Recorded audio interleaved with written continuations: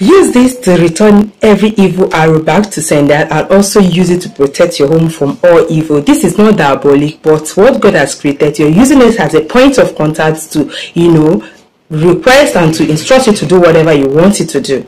Now go to a road where people are walking and stepping on and get some handful of sand there.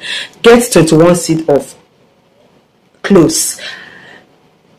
Put it inside us inside that sand. That is, you have to pack the sand with black nylon. Put it there and pray that God you return any evil arrow back to sender. Whatever evil people have done to you, you return it back to sender.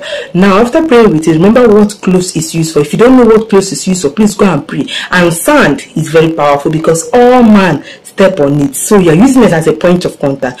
Tie it and go and throw it on a major road. Leave the rest for God.